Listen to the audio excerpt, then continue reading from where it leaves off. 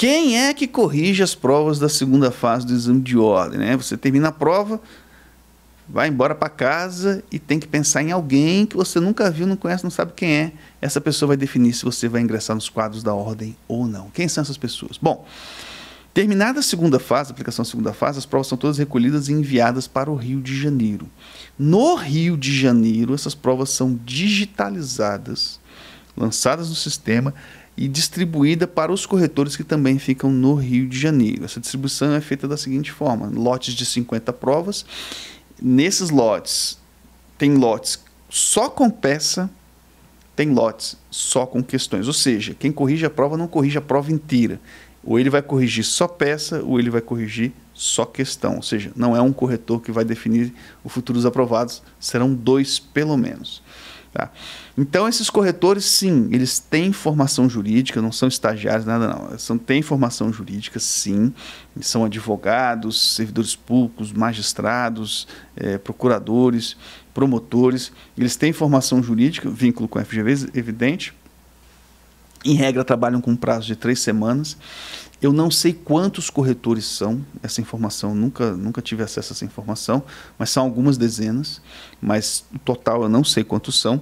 E esses corretores, então, eles correm aí para atribuir essa pontuação para vocês.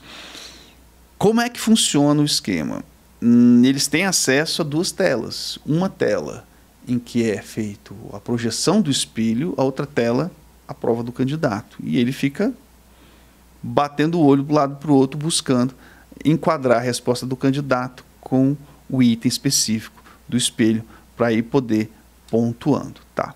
Como eles trabalham com vários lotes, o que, que acontece?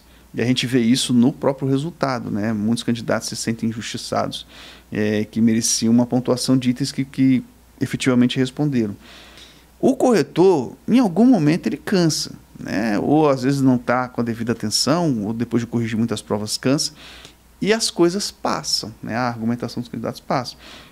Tanto é que a reclamação histórica, a reclamação de sempre, que a qualidade da correção é sempre mediana. Nunca tivemos assim uma prova, nossa, que correção maravilhosa. Talvez ali, talvez como exceção, mas não conta, no 31, 31, que foi ali a segunda fase da pandemia, que a aprovação foi muito alta, mas as provas também foram muito boas. Então tivemos 70% de aprovação num caso excepcional, não é o normal. Tá? Ou seja, são pessoas e pessoas são sujeitas a erros, isso é normal, isso acontece. É, não sei se tem uma redundância de correção, essa informação não tem.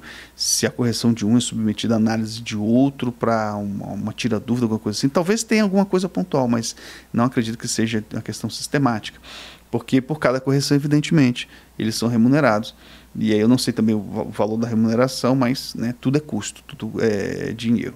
Então é dessa forma que funciona isso. Eles vão corrigindo, isso é lançado no sistema, atribuído é, a nota e no dia do resultado preliminar divulgado. Mas tudo acontece no Rio de Janeiro. E quem corrige, sim, tem formação jurídica, com certeza.